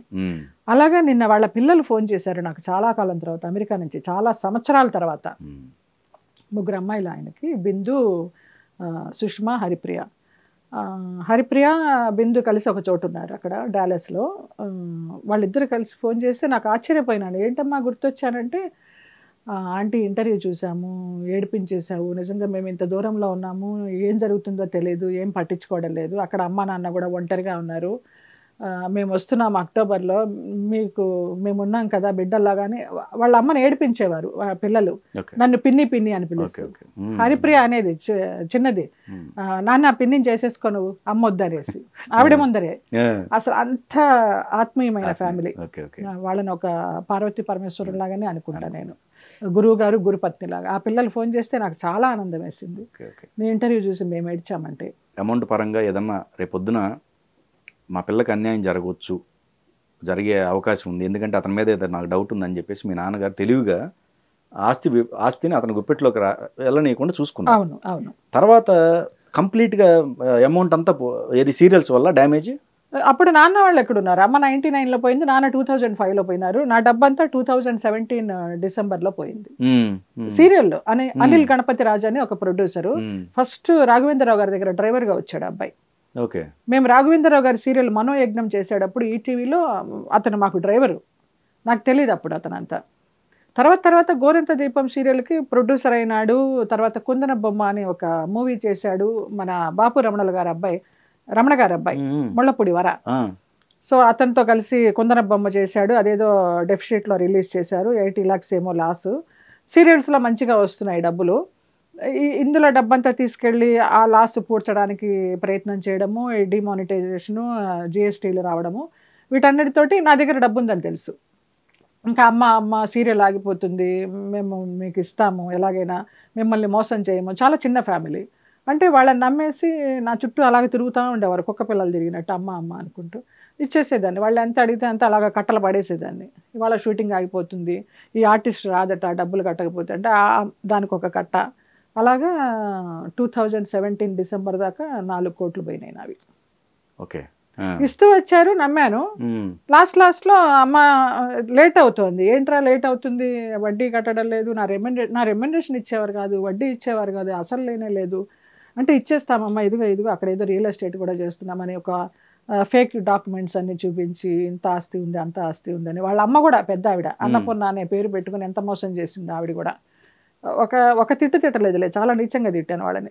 మిమ్మల్ని అందరినీ బట్టలు ఉడదీసి విజయనగరం నా- నడి రోడ్డు మీద పెట్రోల్ పోసి కాలుస్తానని కూడా చెప్పా. ఆఖరికి విరక్తి వచ్చేసి చిన్నపిల్లలు ఇద్దరు పిల్లలు వాళ్ళని తిట్టేదాన్ని. తిట్టి నేనే బాధపడి అరే చిన్నపిల్లలు ఏం చేస్తారు? తల్లిదండ్రులు చేసిన తప్పుకొని వాళ్ళకి ఏదో నా నా పర్సులో ఎంత ఉంటే అంత తీసి దిష్టి తీసి వాళ్ళకి వాళ్ళకే ఇచ్చేసేదాన్ని. అలా చేసిన సంద అలా చేసిన నన్ను ఇంత మోసం చేశారు. పదమూడు కోట్లకి ఐపీ పెట్టేశాడు వాడు ఫేక్ ఐపీ అది ఒరిజినల్ కూడా కాదు. సిసిఎస్ చుట్టూ తిరిగాను. వాళ్ళు ఏం చేయలేదు. వాళ్ళు డబ్బులు తిని వాళ్ళని వదిలేశారు. ఈ డబ్బులు తినేది నన్నే అడుగుంటే నేనేదో లేకపోయినా కింద మీద పడి తెచ్చిచ్చేదాన్ని కదండి. నాకు వసూలు చేసి ఇచ్చేదానిలో మీరు ఎంతో కొంత తీసుకునేవారు కదా అంటే మేము అలాంటి ఆఫీసర్స్ కాదు మేము డబ్బులు తీసుకోలేదు మీకు ఎవరు చెప్పారంటే వాడు దొంగండి మోసం చేసి బతుకుతాడంటే ఒక పెద్ద ఆఫీసర్ అన్నాడు. నీకు కూడా ఆ దొంగతనం వస్తే చేసి బతుకమ్మా అనేసి. ఇంకా అప్పటి నుంచి విరక్తి వచ్చి సీసీఎస్ చుట్టూ కూడా తిరగడం మానేసా అలా జరిగింది. అలా వాడు మొత్తానికి నాలుగు కోట్లు పెట్టేస్తే ఎఫ్డీలు పోయినాయి కార్లు పోయినాయి నగలు పోయినాయి అన్నీ పోయినాయి. ఆ టైంలో శ్రీరామ్ పిలిచాడు నన్ను. ప్రేమ ఎంత మధురం సీరియల్? ఆర్టిస్ట్ ఆర్టిస్ట్ అమ్మ ఎందుకు అలా ఊరికే కూర్చుంటావు? డబ్బులు కూడా పోయినాయి కదా. మళ్ళీ సంపాదించుకోవచ్చు అనేసి అలా పిలిచి నాకు ఆ ప్రేమ ఎంత మధురం సీరియల్ ఇచ్చి అందులో మంచి క్యారెక్టర్ ఇచ్చి ఆ ఆ క్యారెక్టర్కి ఎంత గొప్ప పేరు ఆ శారదాదేవి అంటే. ఆ తర్వాత నేను తిరుపతి వెళ్ళినా ఎక్కడికి వెళ్ళినా కూడా శారదాదేవి ఆర్యవర్ధన్ తల్లి అనేసి నన్ను దేవుడి ముందర నుంచోబెట్టి అలాగే దర్శనం చేయించిన సందర్భాలు కూడా ఉన్నాయి. అవన్నీ కూడా షేర్ చేసుకునేవాడిని వాడితోటి. వెంకట్ అని మా డైరెక్టర్ చాలా మంచి డైరెక్టర్. అతని టీవీ రాజమౌళి అంటూ ఉంటాను నేను అంత మంచి టెక్నీషియన్. అలా మూడు సంవత్సరాలు మంచి బాండింగ్తో పనిచేశాను. మొన్న రీసెంట్గా థర్డ్ రోజున ఏదో ఇన్సిడెంట్ జరిగింది నచ్చలేదు. రామ్ నాకు నచ్చలేదు నాన్న నేను వెళ్ళిపోతున్నాను అన్నాను. నీకు నచ్చకపోతే మానేయమ్మా అన్నాడు. ఆ సీరియల్ నుంచి కూడా బయటకు వచ్చేసాను. బాలయ్య బాబు గారితో Hmm. ఆ song lorry driver. Lorry driver. Boring పాప. బోరింగ్ పాప. ఇంకా అక్కడ నుంచి అసలు మీకు తెలుగులో ఒక బ్రాండ్ పడిపోయింది కదా? ఎవరికి జయలలిత అంటే తెలియదు కదా? బోరింగ్ పాప అంటే "ఆ, బోరింగ్ పాప. చిన్న పిల్లాడి దగ్గర నుంచి పెద్ద ముసలాళ్ళ దాకా కూడా బోరింగ్ పాపనే. అది నేను గ్రహణంతో మారుతుంది అనుకున్నాను ఈ ఇమేజ్ గ్రహణంతో కూడా మారలేదు. తర్వాత భరత్ అని నేను మేడం స్పీకర్తో మారుతుంది అనుకున్నాను. కొంతమంది మేడం స్పీకర్ అని పిలుస్తూ వచ్చారు కానీ చాలా వరకు బోరింగ్ పాపే. అవును. మళ్ళీ ఈవీవి గారి జంబలగడి పంబల రౌడీ గంట పగిలిపోతుంది గంట పగిలిపోయింది ఇవే మాస్ క్యారెక్టర్స్ గుర్తుంచుకున్నారు కానీ నేను చేసిన ఒకటి రెండు మంచి క్యారెక్టర్లు ఎవరు గుర్తుపెట్టుకోలేదు. గోపి గోపిక గోదావరిలో తల్లి క్యారెక్టర్ ఇచ్చారు వంశీ గారు నాకు. మంచి మదర్ వస్తుంది ఇండస్ట్రీకి అనేసి చాలా ఆశపడ్డారు. ఇప్పటికే అంటారు. ఆ సినిమా ఎందుకు నీకు అంటే సినిమా ఆడకపోవడం వల్ల నీ క్యారెక్టర్కి ఇది రాలేదా? అంటే సినిమా ఆడకపోతే ఏంటి? బాగుంది జయలలిత బాగా చేసింది అని అలాగన్నా రావాలి కదా అంటే లిఖితం మనకి అంతవరకే రాసింది కానీ మంచి డైరెక్టర్లతో చేశారు మీరు ఈవీవి? గారు. జంజాల గారు బాపు గారు ఉమ్. మోహన్ గాంధీ గారు కోదండరామిరెడ్డి గారు బి గోపాల్ గారు మీరు ఆ పేరు నుంచి అప్పుడప్పుడు బయటకు వస్తూ ఉంటారు ఇప్పుడు వైవిజయ్ గారు ఉన్నారు. అవి చేసిన తర్వాత రకరకాల క్యారెక్టర్లు చేసుకుంటూ వచ్చారు. మీరు ఆ ఆ పందా నుంచి రావడానికి టైం పట్టినట్టుంది కదా మీకు అంటే నేను రావడానికి ఏంటి సినిమా వాళ్ళు తీసుకురావడానికి టైం పట్టింది పట్టింది. నేను. దేనికి ట్రై చేయాల. తర్వాత తర్వాత నేను కొంచెం సెటిల్ అయిన తర్వాత ఆ క్యారెక్టర్ చేయడానికి ఒప్పుకోలేదు అంతే. నాకు కొంచెం వయసు అయిపోయిన తర్వాత కూడా recent గా కూడా ఐటమ్ సాంగ్స్ చేస్తారా లేకపోతే ఒక ఇంటికి ఆ ఇంటికి పెద్దగా చేస్తారా అని అడిగేవారు అసలు నేను ఆ జోనర్లోనే లేను నాకు ఇస్తే ఒక అమ్మ ఇవ్వండి అక్క ఇవ్వండి లేకపోతే అసలు వద్దు ఏదైనా డాన్స్ టీచర్ క్యారెక్టర్ ఉందా ఇవ్వండి ఇంకా ఈ వయసులో కూడా నన్ను అలాగ ఎవరు చూస్తారండి అంటే మీకు తెలియదండి మీకు ఫ్యాన్స్ ఉన్నారు. నాకు ఫ్యాన్స్ ఉండొచ్చు కానీ నాకు వద్దు ఆ క్యారెక్టర్లు. అని నేనేమి మార్చుకోలేదు నా పంద ఓకే ఓకే. వాళ్ళు అలాగే ఉంటూ వచ్చారు. నాకు సెటిల్ అయినాను. ఒక కాన్ఫిడెన్స్ వచ్చిన తర్వాత నేను మానేసా ఆ క్యారెక్టర్స్. తెలుగులో కూడా మీరు కొన్ని క్యారెక్టర్లు చేసినప్పుడు బండ్ల గణేష్ వీళ్ళు వీళ్ళు కూడా ఉన్నట్టున్నారు కొన్ని ప్లీజ్ ఆంటీ చేశాను కదా. నైట్ అవునవును అవునవును. ఉమ్. చేశాను. మళ్ళీ అంటే దానికి దూరంగా ఉన్నారు కదా మళ్ళీ రావాల్సి ఎప్పుడు నట్టి కుమార్ది ఎప్పుడు చేశాను నేను? ఏ సంవత్సరం అది? అది- గుర్తులేదు. అప్పటికి నేను మానలేదు క్యారెక్టర్ అవునా? Okay okay okay okay. అది తెలుగులోది? తెలుగు. తెలుగు సినిమా అది, అవును. అవునవును అవునవును ఎన్ని సంవత్సరాలు అయింది అది చేసి? Okay okay. దాని తర్వాత మాట నేను చెప్పేది. ఓకే. నాకు సంవత్సరాలు అవి గుర్తుండవు కానీ. ఒక సెటిల్మెంట్ ఉంది నాకు అనుకున్న తర్వాత నేను మానేసి. అంటే మీరు ఫైనాన్షియల్గా అప్పుడు మీకు అంత ఏమి లేదు టూ థౌజండ్ సెవెంటీన్ నుంచే నాకు ఫైనాన్షియల్గా ఇబ్బంది. ఇబ్బంది. ఎయిటీన్ నైన్టీన్ ఒక రెండు సంవత్సరాలు బాగా ఇదిలో ఉన్నాను. ఆ సమయంలో నాగ నాగబాబు గారు నాకు చాలా సహాయం చేశారు. ఆయన ఆర్థికంగా సహాయం చేశారు. చాలా అండగా నిలబడ్డారు. గోపాలకృష్ణ గారు లాంటి వాళ్ళు కానీ చలపతిరావు గారు లాంటి వాళ్ళు కానివ్వండి అందరూ సపోర్ట్గా ఉన్నారు తప్పించి ఆర్థికంగా సహాయం చేసింది నాగబాబు నాకు. Okay okay. మిగతా వాళ్ళు అడిగినా నాకు తీసుకో బుద్ధి అయ్యేది కాదు ఎందుకో తెలియదు నాగబాబు నాకు ఆత్మీయులుగా అనిపిస్తారు నేను బావ అని పిలుస్తాను ఆయన దగ్గర తీసుకోవడానికి నేను ఎలాంటి సంకోచం పడలేదు. జయ రామ్మ ఈ కేఫ్లో ఉన్నాను దా ఒక కాఫీ తాగు అని కాఫీ తాగాక ఒక కవర్ ఇచ్చి పంపించేవారు. నేను నిర్భయంగా తీసుకునేదాన్ని. నా మనిషి నాకు ఇచ్చారు అనే ఒక ఇదిలో తీసుకునేదాన్ని. మోహన్ బాబు గారితో రెండు మూడు సినిమాలు చేశారు మీరు. మోహన్ బాబు గారితో రౌడీ గారి పెళ్ళాము. కలెక్టర్ గారు. కలెక్టర్ గారు. చేశా ఇంకా. అక్కడ కూడా సేమ్ ఆ పాటకి మంచి పేరు వచ్చింది మీకు. ఆ, యమారంజు మీద యమరంజు మీద పుంజు. చాలా చాలా. సేమ్ బాలయ్య బాబు గారి దగ్గర ఎట్లానో. అక్కడ. మీకు అది మంచి పేరు వచ్చింది నాగార్జున గారు కూడా చేశారు లాయర్గా మోహన్ బాబు గారి సినిమా. అధిపతి. అధిపతిలో చేశాను. అధిపతి. చేశాను. అట్లా అదే కొన్ని సినిమాలు చేశారు. గుర్తుండవు. అవునవును అవును అవును. ఆయనకు చాలా అభిమానం. ఆయన చూసి అందరూ భయపడతారు కానీ నాకు ఆయన హీరోలాగా కనిపిస్తాడు. మగాడంటే ఇలాగ ఉండాలి మ్యాన్లీ నేను చాలా ఇష్టపడతాను. నాకు కనిపించినప్పుడల్లా ఐ లవ్ యూ బాబు అని చెప్తాను. ఆయన అంతే అభిమానంగా హక్ చేసుకుంటారు. జయ మంచి పిల్ల. ఇప్పటికీ అంతం తరగలేదని చెప్తూ ఉంటారు. చిరంజీవి గారి మంచి కాంబినేషన్ మంచి కాంబినేషన్ గ్యాంగ్ లీడర్లో బాగుంటుందా? ఉంది, song, ఆ. title song. అవును. పెద్ద హీరోలు అన్ని రోడ్ల మీద రోడ్ల అవునవును. ఒక నేను వెంకటేష్ నాగార్జున గారు వాళ్ళతో ఏమీ చేయలేదు కానీ బాలయ్య బాబు తోటి నాగేశ్వరరావు గారితో. చిరంజీవి గారితో మోహన్ బాబు తోటి. అప్పుడు స్పెషల్ సాంగ్స్ కోసం డిస్కో శాంతి గారు ఉండేవారుగా అవును ఉండేవారు. మంచి ఫామ్లో ఆ, కాంపిటీషన్ ఏమైనా ఉండేది మీకు? లేదు. లేదా. వాళ్ళంత కాదు నేను. ఓకే ఊరికే అలాగలాగా అప్పుడప్పుడు ఒక సాంప్రదాయమైన ఐటమ్ సాంగ్ వాళ్ళు ఫుల్ లెంత్ ఐటమ్ సాంగ్స్ వాళ్ళకి నాకు అసలు పోటీ లేదు. సిల్క్ స్మిత్ కానీ డిస్కో శాంతి కానీ అనురాధ గారు కానీ వాళ్ళందరూ ఆ, జయమాలి జ్యోతి. తర్వాత. నేను ఆ కోవలోకి రాలా. అలా ఏదో ఐటమ్ సాంగ్స్ ఇచ్చారు కానీ వాళ్ళ లిస్ట్లోకి వేయలే నన్ను. విడాకులు తీసుకున్నారా? అఫీషియల్ అఫీషియల్గా అయిపోయింది. మ్యూచువల్ అండర్స్టాండింగ్ తీసుకున్నారు. ఒక సంవత్సరమో ఏమో తిప్పినట్టున్నాడు తర్వాత ఇచ్చేసాడు. మళ్ళీ తిప్పడం కూడా జరిగిందా. వచ్చేవాడు కాదు సైన్ చేసేవాడు కాదు. కోర్టులో చూసినప్పుడు ముఖం తిప్పేసుకునేవాడు నవ్వుకునేదాన్ని. ఈ ఏడు నెలలు బాగా టార్చర్ అనుభవించారు మీరు? బాగా టార్చర్ కాదు. మూడు నెలలు బాగానే ఉన్నాం. చక్కగా అన్ని అన్ని ఇల్లు అంతా చక్కగా కావలసినట్టు మూన్ లైట్ డిన్నర్లు ఇంట్లోనే. ఇంట్లోనే. అవన్నీ చేసేవాడు. నాలుగో నెల నుంచి. నాలుగో నెలల నుంచి? నాలుగు నెలల నాలుగో నెల నుంచి ఒక మూడు నెలలు ఇబ్బంది పడ్డాను. ఏడో నెల వచ్చేసాను డబ్బు తెమ్మని టార్చర్? డబ్బు తెమ్మనే టార్చర్. ఉన్న డబ్బు అయిపోయింది. ఇంకా కావాలి. తీసుకురా తీసుకురా. ఎక్కడి నుంచి తీసుకొస్తాను? తీసుకురాలేను. సరే బయటికి గంటేశారు గంట లేదు నేనే వచ్చేసా బయటికి. ఇంకా ఆ ఇంట్లో ఉండే ఆ తిట్లు తన్నులు ఎందుకు పడాలనేసి. కేరళలో ఆస్తులు ఉన్నాయా? ఏమున్నాయి నాకు? మల్లికార్జునరావు గారు బట్టల సత్యం గారు పోయి లోకంలో ఉన్నారా కానీ. కేరళ గవర్నమెంట్కి ట్యాక్స్ కట్టి వచ్చింది అయ్యా జయలలిత అంట. వాడి అప్పులన్నీ తీర్చాను కదా.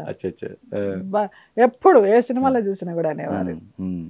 అందరూ వెళ్ళిపోయారు. టప్ప టప్ప టప్ప రాలిపోయారు అందరు.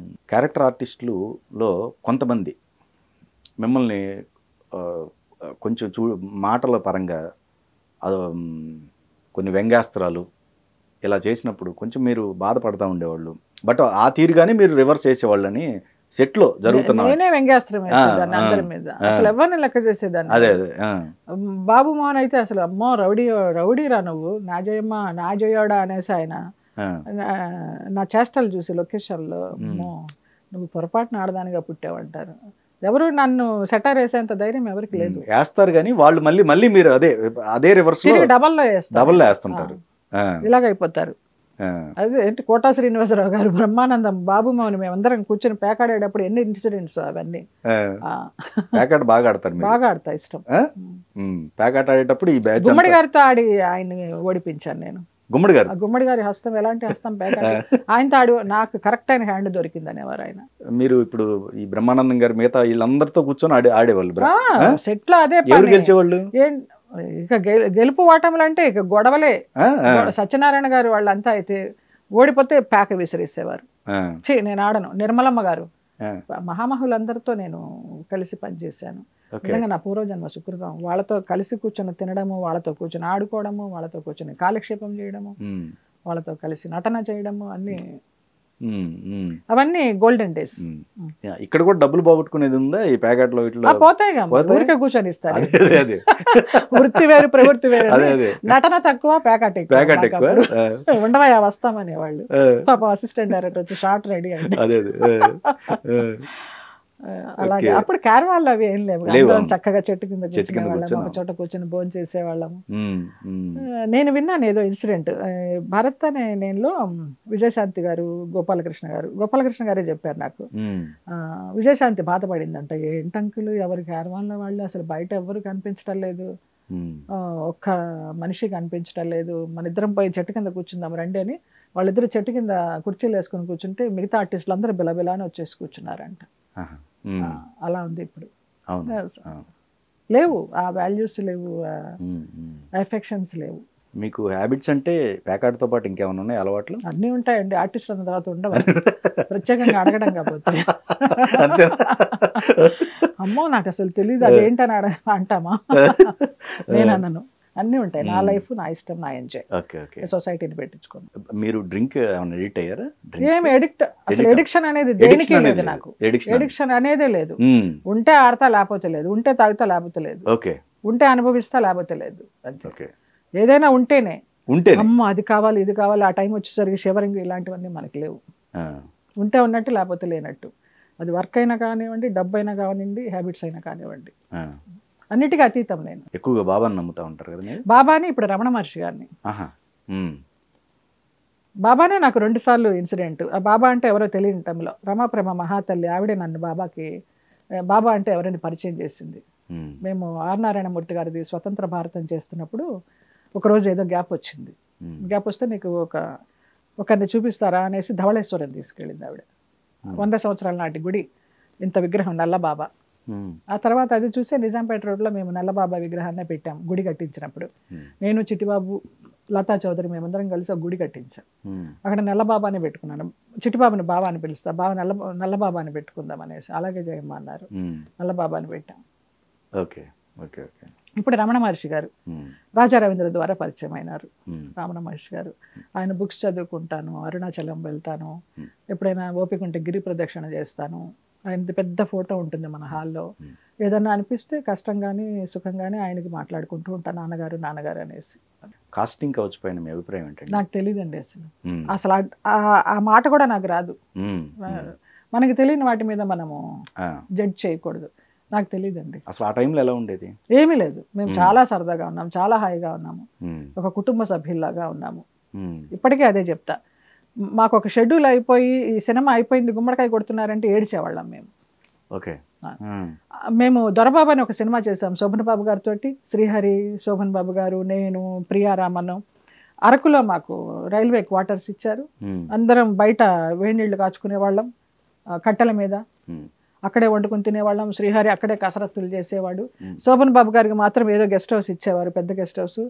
ఆయన అలిగేవాడు. ఏంటి వాళ్ళందరినీ ఒక చోట పెట్టి నన్ను ఒక చోట పెట్టావు? వాళ్ళందరినన్నా నా దగ్గరికి తీసుకురా నన్నన్న వాళ్ళ దగ్గర పెట్టు. వాళ్ళు ఎంత సరదాగా గడుపుతున్నారు అనేసి. ఉమ్, శోభన్ బాబు గారికి నేను చాలా ఇష్టం. జయలలిత పేరు కదా. అందరితో చెప్తూ ఉండేవారు. ఏయ్ నా లవరు అమ్మాయిని ఎవరన్నా ఏమన్నారంటే మర్యాదగా ఉండదు అనేవారు లాస్ట్ రోజుల్లో కూడా నేను చాలా అటాచ్ అయినా ఆయనకి. మెసేజ్ల రూపంలో కానీ మెసేజ్లు ఇచ్చేవారు. ఎక్కడున్నావు అనేసి. నేను ఆయన ఏడిపించేదాన్ని. బాబు నేను మీ ఇంటి ముందర ఉన్నానంటే బయటకు వాచ్మెన్ని పంపించేసేవారు. ఏంటి ఈ టైంలో వచ్చింది పిచ్చి పిల్ల? అనేసి.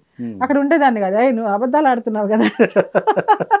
అక్కడ చందమామ కనిపించలేదు బాబా. అది నేనే. మిమ్మల్ని చూడడానికి వచ్చాను అనేదాన్ని. ఆ, ఆయన మరణం ఒక ఇది నాకు తీరని లోటు. మొన్న రీసెంట్గా శరత్ బాబు గారిది. రెండు కూడా నాకు. వాళ్ళిద్దరికి చాలా క్లోజ్ నాకు తెలియదు వాళ్ళని ఒక దేవుళ్ళలాగానే చూస్తా. శరత్ బాబు గారిని కూడా బాబానే పిలిచేదాన్ని ఆయన లలిత అని పిలిచేవారు. ఓకే. అందరూ బావలే? ఆ, చాలా వరకు బావలు. కోట. శ్రీనివాసరావు బావ బావా? రాళ్ళపల్లి గారు బావ బ్రహ్మానందాన్ని బ్రహ్మయ్య అని పిలుస్తాను బాబు మోహన్ని మోహనయ్య అంటాను. వాళ్ళు బావులు కాదు. కాదు. ఆలీ నా తమ్ముడు. నాగబాబు గారు బావ రాజా రవీంద్ర బావ మహాజనానికి మరద పిల్ల మరదల పిల్ల ఉండేవారు. రాళ్ళపల్లి గారు. రాళ్ళపల్లి గారు. జయలలిత అనే పేరు కాకుండా జల జల అని పిలిచేవారు నన్ను. బాలయ్య బాబు గారితో మరపు లేని ఎక్స్పీరియన్స్ ఎక్స్పీరియన్స్ ఏమి లేవండి. Hmm. చాలా జోవియాలు. చిన్న- నా నా దృష్టిలో ఆయన చిన్నపిల్లాడు. Hmm. బాగా మాట్లాడతారు. మేము ఈ సినిమా కోసం ప్రమోషన్ కోసం అడిగాం. అందరిని అడిగాం. పెద్దవాళ్ళందరినీ. కానీ ఎవరు నాకు సహకారం ఇవ్వలేదు. తెలియదు మరి ఎందుకో చిన్న సినిమానా కొత్త వాళ్ళనా ఏంటో తెలియదు నన్ను చూసి అయినా ఇస్తారు ఫేస్ వాల్యూ ఉంది కదా అనుకున్నాను. నలభై సంవత్సరాలు ఇండస్ట్రీలో ఎంత సంపాదించానో తెలియదు కానీ అభిమానం సంపాదించాను పుష్కలంగానే నమ్మకం అయితే నాకుంది. అభిమానంతో పెద్ద పెద్ద వాళ్ళని అడిగాను కానివ్వండి జరగలేదు నాకు. సరే వాళ్ళని బ్లేమ్ చేయడం కానీ వాళ్ళ పరిస్థితులు ఏంటో తెలియదు. బాలయ్య బాబుని ఆర్ఎఫ్సీలో కలిసి టీజర్ రిలీజ్ చేయి బాబు అన్నాను. అరే అలాగే జయలలిత నీకోసం ఏదైనా చేస్తానన్నారు. రెండు రోజులు అవి ఫోన్ చేస్తే ఆయన ఏదో సిక్ అయినారు. జలుబు గొంతు కూడా తెలుస్తూ ఉంది. టెన్ డేస్ రెస్ట్ అమ్మా మళ్ళీ షెడ్యూల్ స్టార్ట్ అవుతుంది. ఏదో ఏదో చేస్తున్నారు కదా ఆయన. సరే నేను ఫోర్స్ చేయలేదు ఇంకా. అలాగా ఆర్ఎఫ్సీలో కలిసినప్పుడు ఏ బోరింగ్ పాప మన సినిమా వేశారు తెలుసా ఈ మధ్య? అంటాడు. టీవీలో సినిమా వేస్తే సంతోషపడిపోతాడు ఆయన. ఇప్పుడు సినిమా చూడడానికి ఎన్ని మార్గాలు ఉన్నాయి ఎన్ని ఛానల్స్ ఉన్నాయి? కానీ ఆ. టీవీలో వేసిన సినిమానే ఆయనకి ఇష్టం. మన సినిమా రెండు మూడు సార్లు వేశారు తెలుసా? లారీ డ్రైవర్ అంటాడు. జోవియల్ ఆయన. రాజేంద్ర ప్రసాద్ గారు అందరూ. అందరూ జోవియల్గా ఉంటారు. రాజేంద్ర ప్రసాద్ గారితో మీకు ఏమైనా కాంట్రవర్షియల్ ఉందా? ఏమీ లేదే. లేదా? అబ్బే ఎవరైనా చెప్పారా ఏమైనా లేదు. చిన్న చిన్న గొడవలు అంటారా? అసలు గొడవలే లేవు? నాకు ఏ ఆర్టిస్ట్ తోనూ గొడవలు లేవు. నాకు అసలు శత్రుత్వమే లేదు ఎవరితోటి. Okay okay. మరి ఆ మాట ఎలా వచ్చింది చిన్న చిన్న మనస్పర్ధలు లాగానా ఏమీ లేవు. అలా కూడా ఏమీ లేవు. ఓకే. తెలియదు ఎందుకు వచ్చింది ఆ మాట. నిజంగా లేదు. సో ఆర్టిస్టులతో ఎవరితో ఏమీ లేదు. ఏమి? ఉండవు వాళ్ళు నా దగ్గరికి వచ్చి హలో అంటే హలో చెప్పడము ఆప్యాయంగా వచ్చి కూర్చుంటే కూర్చోడం తప్పించి నేను అందరినీ పూసుకునేది అది ఏమి ఉండదు నా పని ఏదో నా నేనేదో. మీకు గ్రూప్ ఉంటుంది కదండి. ఆ గ్రూప్లో ఉండరా మీరు? ఈ మొత్తం చాలా మంది ఉన్నారు కదా. అసలు ఎవరైనా గ్రూప్లో పెడితే నన్ను ఎగ్జిట్ అయిపోతా నేను. అవునా? నాకు ఒక పది మందిని చూస్తే భయం టెన్షన్ వచ్చేస్తుంది. నాకు. ప్రశాంతంగా ఉండాలి. నలుగురు ఉండడం ఇష్టమే. వాళ్ళు ఎంతవరకు అంతవరకే. ఎక్కువసేపు ఉన్నానంటే భరించలేను నేను గుంపు. నాకు ఒక టెన్షన్గా ఉంటుంది. ప్లెజెంట్గా ఉండాలి నా ఇల్లు నేను. ఒక అకేషన్ వరకు ఓకే. ఎక్కువ మంది జనాల్ని భరించలేను. కానీ ఫ్రాంక్గా ఒకటి చెప్పండి. మేకప్ మేకప్ వేసుకుంటే ఒకలాగా ఉన్నారు. మేకప్ తీసిన తర్వాత ఇంకొక రకంగా ఉన్నారు. ఇదా జీవితం. అన్న క్షణాలు ఏమున్నాయి మీ మీ లైఫ్లో? సో ఏమో ఆ తేడా నేను ఎప్పుడు గమనించలేదు. ఒకలాగానే ఉన్నాను నేను. నటన జీవితంలోనూ నటించలేదు. ఆర్టిస్ట్ పరంగా కూడాను నటింపజేసే డైరెక్టర్లు ఎవరు దొరకలేదు. మేమందరం న్యాచురల్గానే మా క్యారెక్టర్లు అనుకొని చేసాం కానివ్వండి అసలు ఈ క్వశ్చన్కి ఏం చెప్పాలో నాకు అర్థం కావడల్లా నిజంగా.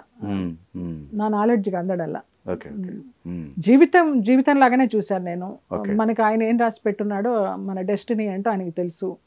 ఎవరు ఉండాలి ఎంత ఉండాలి మనకి అనేది సో ఆయన నిర్ధారించినట్టు వెళ్ళిపోవడమే అంతే. మ్మ్. మనమేమి దాన్ని ఎదురీదలేం కదా. మనకి నచ్చినట్టు మన తలరాతను మార్చుకోవచ్చు చేతిరాతను మార్చుకోవచ్చు అంటారు కానీ కొన్ని సందర్భాల్లో కొంతమంది మనుషులకు మాత్రమే అది. కొంతమందికి ఏది రాసి పెట్టిందో అదే. అంతే. అది ఎలా వెళుతుందో అదే. జీవితాన్ని జీవితంలాగా చూడాలి. జీవితాన్ని జీవితంలాగా గడపాలి. చిన్న జీవితం. ఇది ఒకటే తెలుసు నాకు. మదర్ చనిపోయారు. చనిపోయినప్పుడు అట్లీస్ట్ కంటిలో నుంచి అందరూ? ఎవరి పనులు వాళ్ళు చూసుకుంటున్నారు ఆమెకి అలంకారాలు చేస్తున్నారు ఆమెను పంపించాలి చివరి క్షణాలు. ఆహా నా మెదడు మెద్ద మొద్దుబారిపోయింది. అమ్మ పోయిందా? రాత్రి వరకు ఉంది. దసరాలు. మర్నాడు నవమి. గారెలకి ఇంత పప్పు పోయాలి ఆవాళ్ళు ఇన్ని చేయాలి అని చెప్పి నిద్రలో పోయింది అది ఆవిడ మొత్తం మాసివ్ అటాక్ నాలుగు గంటలకి మా మామయ్య వెళ్ళి అక్కయ్య అక్కయ్య అని పిలుస్తుంటే లేవలేదు పెద్దగా అరిచాడు. అందరం లేచాము. అందరూ వెళ్ళి ఆమెను చూస్తున్నారు ఏడుస్తున్నారు. నా గదిలో నేను అలాగే ఉన్నా.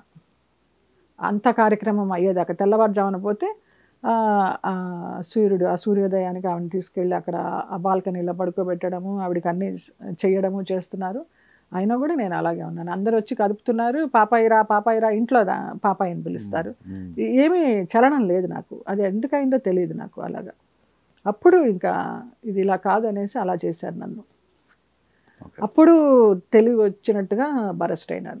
మీరు మర్చిపోలేని ఒక రెండు ఇన్సిడెంట్లు. ఇప్పుడు ఉన్న పెద్ద హీరోలదే చిరంజీవి గారి దగ్గరికి నేను ఒక. పాలకొల్లు బ్యాచ్ని తీసుకెళ్ళా. Political batch. వాళ్ళు నన్ను అడిగారు. అప్పుడు నేను చిరంజీవి గారితో మూవీస్ చేస్తున్నాను కదా ఒక ఫోటో తీయించవా అమ్మ మేము చిరంజీవి అభిమానులం అని. అప్పుడు చిరంజీవి గారిని అడిగితే రామ్మ అదే ఉంది అన్నారు తీసుకెళ్ళాను. వాళ్ళతో ఫోటో దిగారు. వాళ్ళకి నా గురించి చెప్తున్నారు ఆయన. అసలు ఆ అమ్మాయి వృత్తి వేరు ప్రవృత్తి వేరు చేసే వేషాలు వేస్ వేరు. అమ్మాయి ఎన్ని దాన ధర్మాలు చేస్తుందో గుప్తంగా అసలు ఏ ధర్మం చేసినా కూడా అమ్మాయి చెప్పుకోదు దానం చేస్తే మేము ఇంత పెద్ద హీరోలు మాకు పబ్లిసిటీ అవసరం లేదు మేము చిన్న దానం చేస్తే చెప్పుకుంటాము. అమ్మాయి అంత మంచి అమ్మాయి అని నా గురించి ఒక గొప్ప కాంప్లిమెంట్ ఇచ్చారు. ఆయనతోటి అది నాకు చాలా ఒక గొప్ప ఇన్సిడెంట్. చిరంజీవి గారు. మోహన్ బాబు గారు అంతే. ఎప్పుడు పలకరిస్తారు అభిమానంగా ఏం జయలలిత అనేసి. మొన్న నా టై ఇది టైటిల్ లాంచ్ కూడా చేశారు అడగంగానే వచ్చి. ఆయనతో ఆ ఇన్సిడెంట్. బాలయ్య బాబు మొన్న ఆర్ఎఫ్సీలో కలిసినప్పుడు. చాలా చక్కగా రిసీవ్ చేసుకున్నారు. అదొక ఇన్సిడెంట్ తప్పించి. పెద్దగా ఇంకా పర్సనల్ ఇన్సిడెంట్స్ అనుభవాలు ఏమీ లేవు. మిమ్మల్ని అప్పుడు వరకు ఒక రకంగా చూసి ఆ. ఆ గంట పగులుద్ది అన్నట్టు ఆ జంబలకడి పంపలు అవును. అది మ- భలే క్యారెక్టర్ అది.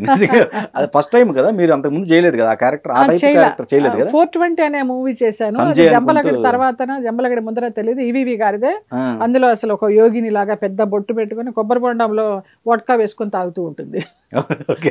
బౌన్సర్స్ చేత మసాజులు చేయించుకుంటూ. అలాంటి క్యారెక్టర్లన్నీ ఆయన చేయించారు సరదాగా ఉంటుంది ఆ క్యారెక్టర్ అంతా? అన్ని అన్ని సరదాగానే చేశాం ఏంటి ఈ క్యారెక్టర్ మంచిగా చేయిస్తున్నారని నొచ్చుకున్న సందర్భం ఒకటి కూడా లేదు.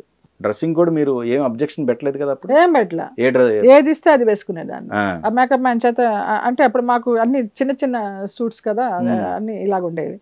నీకు నాకు అసలు మేకప్ వేసేవారు కాదు. బానే ఉండేది. లేకపోతే ఏదో స్టాకిన్స్ వేసుకునే వాళ్ళం అంత ఏదైనా మోకాళ్ళ మీద దెబ్బలు అవి అయినా కనిపించినా కూడా. మేకప్ మ్యానే మొత్తం మ్యాచ్ చేసేవాడు బాడీ కూడా. ఏముండేది కాదు. అలా మేమే వేసుకోవాలి ఎవరు చూడకూడదని ఇలా కప్పేసుకొని అలా ఎప్పుడూ లేను. నాకు ఇచ్చిన క్యారెక్టర్ నేను నిర్భయంగా చేశాను. నా మధ్యలో అసిస్టెంట్ వచ్చి సాంగ్ గ్యాప్లో వచ్చి టవల్ ఏదైనా కప్పపోయినా తీసేసేదాన్ని. ఇలా టవల్ కప్పుకొని ఉంటేనే ఆత్రం వాళ్ళకి ఎప్పుడు తీస్తుందా ఏం కనిపిస్తుందా అని చూద్దామని. ఇలాగ తెరిచామంటే ఏం ఉండదు కాసేపు చూస్తాడు అడిగి తీసుకొచ్చి వెళ్ళిపోతాడు. ఇలా మూసుకుని ఉండదు ఎప్పుడైనా అలాగే ఓపెన్గానే ఉండేదాన్ని. అది కూడా కప్పుకునేదాన్ని కాదు షార్ట్ గ్యాప్లో అలాగే కూర్చునేదాన్ని. ఇది టూ పీస్కి సంబంధించిన అన్ని అన్ని వేసాం. టూ పీస్ వేసాము ఇంకా క్లబ్ ఐటమ్స్ సాంగ్స్ అంటే దానికి తగ్గట్టు ఏమో జిగి జిగి వేస్తారు కదా. అవునవును. ఇంతవరకు వేసేవో వేలాడుతూ ఉంటాయి. ఆ, అన్ని రకాలు వేసా. అమ్మ మీకు ఫ్రాంక్గా ఎన్ని లవ్ ప్రపోజల్ వచ్చి ఉంటాయి బోల్డ్? గుంటూరులో ఎన్ని తగాదాలు జరిగినాయి. గుంటూరులో నేను Thums Up queen beauty queen Thums Up beauty queen అందుకనే థమ్స్అప్ ఎక్కువ తాగుతుంటారు లేదు ఇప్పుడు ఇవాళ ఎందుకు తాగాలనిపించింది? ఏదో పూరి తినొచ్చాను. ఆయిల్ ఆయిల్గా ఉంది మాట ముద్దగా వస్తుంది అనేసి. తాగను అసలు కూల్ డ్రింక్స్ అసలు ప్రిఫరెన్స్. మామూలు ఫ్రిడ్జ్ నీళ్ళు కూడా తాగను నేను. Okay okay. మామూలు కుండలో నీళ్ళు అంతే సో కుండ మీకోసం కొట్టుకోవటాలు రక్తపాతాలు కూడా జరిగింది రక్తపాతాలు జరిగినాయని చెప్పలేను కానీ కొట్టుకున్నారు. ఇంత కట్టలు కట్టలు లవ్ లెటర్స్ వచ్చేవి. వీళ్ళందరూ ఎవరైనా మా నాన్న అడిగేవారు నేను ఎవరి లిస్ట్ చెప్పేది? నాకెవరు తెలుసు? జరిగినాయి. ఏవేస్ కూడా అంటారు జొల్లు కార్చుకునే వాళ్ళని చేయమ్మా నిన్ను చూసి అనేసి. కొంతమంది రాజ్యాలు రాసి ఇటలు ఇట్ట కూడా ఉంటాయి అట్లా ఏం జరగల. జరగలేదా? రాసిస్తే బాగుండేది. బాగున్నావు అందంగా ఉన్నావు అన్న వాళ్ళే కానీ ఏమీ రాసి ఇవ్వలేదు. రాసి ఇవ్వాల? తెల్ల పేపర్ కూడా ఇవ్వలేదు. తెల్ల పేపర్ కూడా ఇవ్వలేదా? ఇది అన్యాయం అసలు. మనకి ప్రాప్తం ఉండాలి. ప్రాప్తం. పెట్టాలన్నా మొట్టాలన్నా వాళ్ళకి అనిపించాలి. అనిపించాలి. ఓకే. ఓకే. ఎవరి సొమ్ము ఎందుకు అసలు? ఆ తృప్తి కూడా ఇవ్వదండి. కొంతమంది చాలా మంది అభిమానంతో ఇవ్వాల. రాసిన వాళ్ళు చాలా మంది ఉన్నారు. ఏమి లేదు. ఇప్పుడు నా పిల్లలు రుద్రం కోట చేసుకున్న పిల్లలు Anil hero cum producer Ramu Kona director. నేను ఆటోల్లో తిరుగుతున్నాను అన్ని పోగొట్టుకుని వాళ్ళు నన్ను తిప్పుతారు. కార్లలో తిప్పుతారు. ఏదైనా కావాలంటే లాంగ్లు కూడా తీసుకెళ్తారు. షూటింగ్ వాళ్ళు కారు పంపిస్తారు. లేకపోతే నేను ఏదైనా చిన్న బ్యూటీ పార్లర్ వర్క్ ఇంకో దానికో ఇంకో దానికో వెళ్ళాలంటే క్యాబ్లో వెళ్ళిపోతా వచ్చేటప్పుడు దొరకకపోతే ఆటోలో అయినా వచ్చేస్తా. అలా వాళ్ళకి బాధేసి నా జూలై ఫిఫ్త్ నా సిక్స్టీ ఎయిత్ పుట్టినరోజు నాడు సర్ప్రైజ్గా వీడు ఇన్ని అప్పుల్లో ఉండి సినిమా చేసుకుంటూ ఈ రుద్రం కూడా నాకు కారు కొనిచ్చాడు ఐటెన్ ఆహా, ఆ కారు ఉంది ఇప్పుడు. అది ఉంది నేను ఎంత చెప్తారు కదా మార్గదర్శిలో చేరాను ఒక చిన్న. కారు కొనుక్కున్నాను అనేసి ఎక్స్యూలు అవన్నీ టాటా ఆర్యాలు ఇనోవాలు ఇవన్నీ చూసిన దాన్ని ఇప్పుడు చిన్న ఐటెన్ అది కూడా వాడిని తిడతా.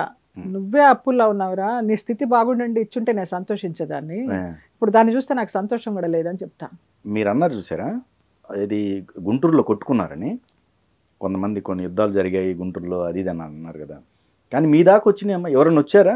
అంటే మీరు లేకపోతే చచ్చిపోతాను. ప్రోగ్రామ్స్ చూసి చల్లా సిస్టర్స్ నేను అక్కయ్య డాన్స్ ప్రోగ్రామ్స్ చేసేవాళ్ళం. Kuchipudi dance programmes. IAS officers IPS officers ఎంతమంది వచ్చారు. సంబంధం చేసుకుంటాం సంబంధం. మా నాన్న అస్సలు పడనిలేదు అయితే డాన్సర్ లేకపోతే హీరోయిన్. పెళ్ళి లేదు గిల్లి లేదు అనేసి పంపించేసేవారు. పోనీ పెళ్ళి తర్వాత వచ్చి ఉంటుందిగా ప్రపోజల్? ఆ పెళ్ళి ఏదో అయిందండి. నేను ఎప్పటి నుంచో మిమ్మల్ని లవ్ చేస్తాను ఆ, ప్రేమిస్తున్నానని వన్ సైడ్ లవర్స్. ఎవ- ఎవరు లేరు. One side. లవర్స్ ఎవరు లేరు. ఏదో మెయింటైన్ చేస్తామనో ఉంచుకుంటామనో చెప్పిన ప్రపోజల్స్ తప్పించి మీకు దండం నాయన. వేరెవరినన్నా చూసుకోండి. సో ఎంటైర్ మీ జీవితం మొత్తంలో మీరు తెలుసుకున్న నీతి ఏంటండి? అంటే నీతి తెలుసుకుంటే ఇలాగ మోసపోనుగా. మోసం ఏమీ తెలియదు ఏమీ తెలియదు ఇవాళ దాని నుంచి తెలుసుకుంటారు కదా దాని నుంచి తెలుసుకుంటారు అబ్బాయి తెలుసుకోవాలి అదే కదా ఆలి తిడతాడు ఆలితో సరదాగా అన్నాడు ఎన్నిసార్లు మోసపోతావు అక్క ఎన్నిసార్లు పడతావు అక్క అనేసి. అప్పుడు బరస్ట్ అయ్యా. నాకు అలా రాసి పెట్టింది అంతే. రాసి పెట్టున్న దాన్ని తప్పించలేము. తెలుసు ఎవరు మోసగాళ్ళని తెలియదు ఎవరు మంచి వాళ్ళని తెలియదు అందరినీ నమ్మడం అందరినీ మంచి అనుకోవడం. అందరూ బాగుండాలి అందులో నేను ఉండాలనుకోవడం. అలా గుడ్డెద్దులాగా వెళ్తున్నాను కానివ్వండి నీతి తెలుసుకోవడము కళ్ళు తెరుచుకోవడము జాగ్రత్తగా ఉండడం ఇలాంటివన్నీ మన జీవితంలో లేవు. ఓకే. పడుతున్నాను లేస్తున్నాను పడుతున్నాను లేస్తున్నాను. ఏదో ఒక శక్తి నన్ను నడుపుతుంది అంతే. రుద్రం కోట సినిమా చేస్తున్నారు కదా? ఏంటి దానికి ప్రొడ్యూసరా మీరు? లేదు. ఏది మీ పేరు ఉంది దాని మీద? CH Jayalalitha presents. టైటిల్ లాంచ్లోనే నేను చూశాను అది. తిట్టేశాను వాళ్ళని. ఏంట్రా ఇది? నా డబ్బులన్నీ పోగొట్టుకుని ఉన్నాను. జనాలు ఏమనుకుంటారు? ఈ అమ్మాయి అబద్ధం చెప్తోంది సినిమా ఎలా తీసింది అనుకుంటారు? అంటే లేదమ్మా ఎవరేమైనా అనుకోని. నువ్వు మాకు అమ్మవి మా జయమ్మవి ఓకే. నీ పేరుంటే మాకు సెంటిమెంట్. ఆ సినిమా ఆడని ఆడకపోని. మా అభిమానం అంతే అని వాళ్ళు అలా పెట్టుకున్నారు. ఒక్క పైసా పెట్టలేదు నేను. సో మీ హీరోయిన్స్ ఇద్దరు ఉన్నారు బయట వెయిట్ చేస్తారు అవును పాపం చాలా సేపు వాళ్ళని పిలిపిద్దామా? తప్పకుండా. ఎందుకు ఇద్దరు తెలుగు అమ్మాయిలే తీసుకున్నారు? ఈ అమ్మాయి తెలుగు కాదు. కాదా? కన్నడ తమిళ్ మలయాళం అన్ని మిక్స్డ్ అమ్మాయి. మిక్స్డా ఓకే. ఈ అమ్మాయి ఓన్లీ తెలుగు. వైజాగ్. వాళ్ళే చెప్తారు వాళ్ళ మాటల్లో. మొత్తం నేనే మాట్లాడేస్తే ఎలాగా? జయలలిత గారు డబ్బులు ఇచ్చారా? బోల్డ్ ప్రేమ ఇచ్చారు. సో ఎలా జరిగింది షూటింగ్ వాతావరణం అంతా? ఎలా ఉంది? ఫుల్ చాలా నేచర్లో ఇది ఒక విలేజ్ బ్యాక్గ్రౌండ్ స్టోరీ కాబట్టి ఫుల్ విలేజ్లోనే అక్కడ హట్లోనే మేము కూడా ఏ రూమ్స్ అలా లేవు. హట్లోనే మేము ఆ విలేజ్లో అలాగే సెట్ అయిపోయాము. ఒక ఫ్యామిలీగా చాలా బాగా జరిగింది షూటింగ్ అయితే. ఇంకోటి అక్కడ ఏదో శ్మశానం ఏదో చూసాం కదా అదే దాంట్లో ఉన్నావా. ఆ క్యారెక్టరా ఒరిజినల్ శ్మశానంలో రొమాంటిక్ సాంగ్ ఆహా శివశంకర్ మాస్టర్ గారి ఆధ్వర్యంలో ఆయన కొరియోగ్రాఫ్ చేశారు మహానుభావుడు. ఆయన దాని తర్వాత ఒక ఫోర్ ఫైవ్ మంత్స్కి ఆయన కాలం చేశారు. Okay okay. ఉమ్, మాకు రెండు సాంగ్స్ చేశారు. రుద్రతాండవం ఒకటి చేశారు. శ్మశానంలో రొమాంటిక్ సాంగ్ ఒకటి చేశారు. శ్మశానంలో రొమాంటిక్ సాంగ్ అంటే అంతకుముందు ప్రీవియస్ వచ్చినాయి అన్న మూవీస్ రాలేదు. First movie. మేమే ఆ ప్రయోగం చేసాం అసలు శ్మశానంలో రొమాంటిక్. ఓకే. వాడు శ్మశానంలోనే ఉంటాడు రుద్రుడు. అక్కడే పెరుగుతాడు అక్కడే తింటాడు అక్కడే పడుకుంటాడు. పడుకుంటాడు ఓకే. అక్కడే శిక్షలు వేస్తాడు. అలాగా అక్కడే romance. Okay okay. Romance in the sense ఈమె మీరు సినిమా చూసి తెలుసుకుందరు తర్వాత. బోల్డ్ అంత ప్రేమను పంచారన్నారు కదా. ఏం ప్రేమను పంచారు? ఏం ప్రేమ అంటే ఏమన్నా మాట్లాడొచ్చు ఆమెతో. నాకు ఫిల్టర్స్ అని ఏమి ఉండదు అనమాట.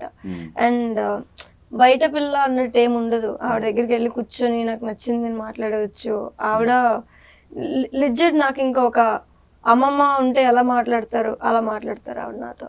ఆ, కేర్ కూడా అలానే ఉంటుంది. వచ్చి తిన్నానా పడుకుంటున్నానా టైంకి లేదా అన్నీ అలా చూసుకుంటారనమాట మంచిగా. ఇంకా టు బి ఫ్రాంక్ మాకు బడ్జెట్ ప్రాబ్లం వల్ల పిల్లలందరూ నా దగ్గరే ఉన్నారు ఇప్పుడు. ఈ ప్రమోషన్స్కి సో దానికి. ఆ. మేము తింటున్నామా లేదా టైంకి? మ్మ్. వీళ్ళకి ఏమైనా ఆకలేస్తుందా? బయట ఉంటున్నారా? ఏంటి? ఎలా ఉన్నారు? ప్రతిదీ ఇంకా.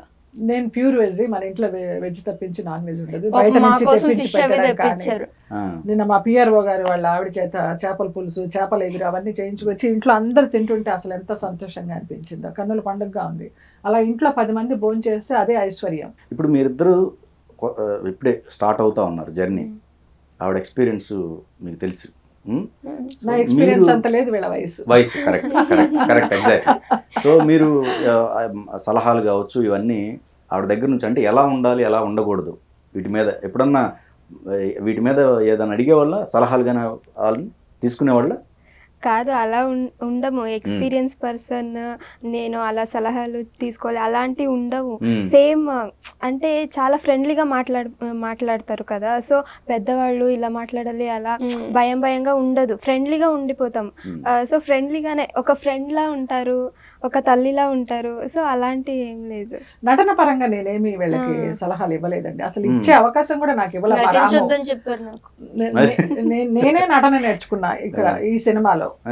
మేము అసలు ఎవ్వరం ఏమి పిండ్రాప్ సైలెన్స్ రామ కెమెరా ముందుకు వెళ్ళమ్మా ఈ డైలాగ్ చెప్పమ్మా ఈ మాడ్యులేషన్లో చెప్పమ్మా ఈ పోస్చర్లో ఉండమ్మా ఇలా గంభీరంగా చూడమ్మా ఇంతే. అతను అతను ఇన్స్ట్రక్షన్స్ ఇస్తూ ఉంటాడు దాన్ని బట్టి మా క్యారెక్టర్స్ అన్ని మేము చేసుకుంటూ వచ్చాము. నేను వాళ్ళకి చెప్పడానికి స్కోప్ లేదు నేను నేర్చుకున్నాననే చెప్పాలి. కాకపోతే మిగతా విషయాలు ఏమన్నా ఉంటే ఆడపిల్లలు ఇలా ఉండాలమ్మా అలా ఉండాలమ్మా ఇలా చేస్తే మంచిదమ్మా అని అవి చెప్తాను కానీ నటన పరంగా వీళ్ళకి ఏమి నేను మెలకువలు నేర్పించలేదు. వాళ్ళే చాలా అద్భుతంగా నటించారు. మా రాము ఆధ్వర్యంలో. అయ్యే ఇంపార్టెంట్. నటన పరంగా కాకుండా అసలు ఎలా ఉండాలి మెలకు ఇప్పుడు ఇప్పుడు మన ఇంట్లో. ఉన్నారు కదా. పిల్లలు ఏమైనా చేస్తే. లైట్లు ఆఫ్ చేయకుండా వస్తే ఫ్యాన్స్ ఆఫ్ చేయకుండా వస్తే అలా కాదు. హోటల్ రూమ్లో ఉన్నట్టు కాదు. బ్యాచిలర్ రూమ్లో ఉన్నట్టు కాదు. పద్ధతిగా ఉండాలి ఇలా చేయాలి ఇలా చేయాలి అని చెప్తా. ఓకే.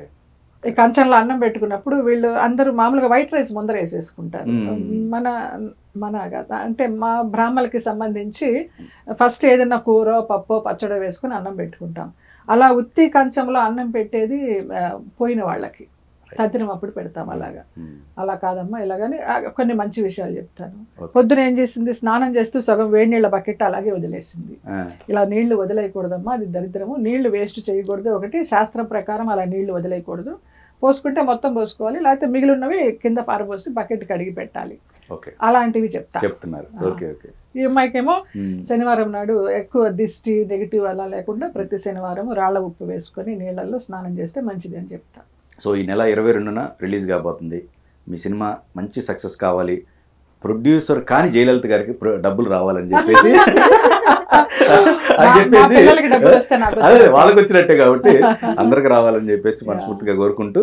సో మీరు ఏమైనా చెప్పదలుచుకుంటున్నారు ఎనీథింగ్. అందరికీ నమస్కారం. నా పేరు విభిష. నేను రుద్రంకోట మూవీలో హీరోయిన్ హీరోయిన్గా చేశాను. సో మన మూవీ రుద్రంకోట ఈ మంత్ ట్వంటీ సెకండ్ రిలీజ్ అయిపోతుంది మీరందరూ వచ్చి థియేటర్కి చూడాలి అని కోరుకుంటున్నాను. అండ్ మన మూవీకి మీరందరూ సపోర్ట్ ఇవ్వాలి. Thank you. యా మలేఖియా గాదం పోయిన ట్వంటీ సెకండ్ సెప్టెంబర్ మన రుద్రంకోట రిలీజ్ అవుతుంది. You should all come and watch it. You will definitely love it. Thank you. Vinayaka Chavithi శుభాకాంక్షలతోటి ఈ నెల ఇరవై రెండున థియేటర్లలో మీ ముందుకు వస్తున్నాము. ప్రేక్షక దేవుళ్ళందరూ మా సినిమాని మా రుద్రంకోట సినిమాని ఆదరించి మీ ఆశీస్సులు అందించి మా సినిమాని విజయవంతం చేయవలసిందిగా కోరుకుంటున్నాను.